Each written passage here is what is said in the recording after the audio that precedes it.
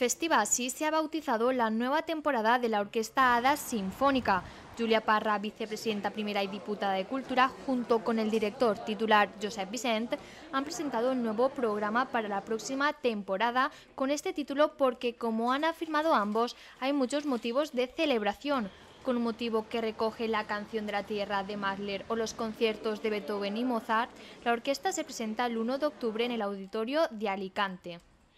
Un cartel de primer nivel es lo que se pretende conseguir este año en la Orquesta Hada Sinfónica de Alicante y es que este año podremos disfrutar de algunas funciones tan características como la Ópera Carmen y es que la Ópera Carmen va a ser una función estrella para esta nueva temporada. Esta ópera ha costado más de 100.000 euros y la podremos disfrutar a través de tres sesiones, el día 17, 19 y 21 de noviembre. Además, si la pandemia lo permite, este año se volverán a llenar las mil butacas que cuenta el auditorio y a partir de mañana ya se podrán renovar los abonos para esta nueva temporada y a partir del 13 de julio comprar los nuevos abonos.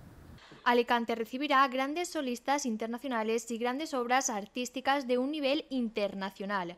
Momentos estrella de, de la temporada en el concierto número 11, la presencia de la orquesta de la Suisse Romande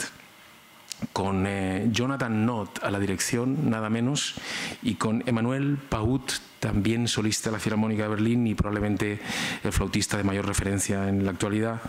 eh, tocando el concierto Ibert y siguiendo con Mahler la Sinfonía número 5, que no es baladí. Este año, como novedad, hay un nuevo abono plus, que es el abono natural incluyendo la función de ópera Carmen, unos precios que destacan por ser accesibles a casi todos los públicos. Es que se ofrecen conciertos en el ADA a unos precios que en cualquier otra capital valen el triple. Entonces, eh, siempre manteniendo, sin querer dañar al sector tampoco, ¿no? pero, pero, se hace, desde luego, se intenta, y eso también es algo que, en lo que la diputada está muy empeñada, en que seamos lo más sociales posible, y así es la programación. Tenemos que ofrecer ese plus que la cultura tiene y es que es la atracción del turismo. Alicante, aparte de sol y playa, tenemos muchas cosas más y aquí lo tenemos reflejado la cultura es el plus ese que,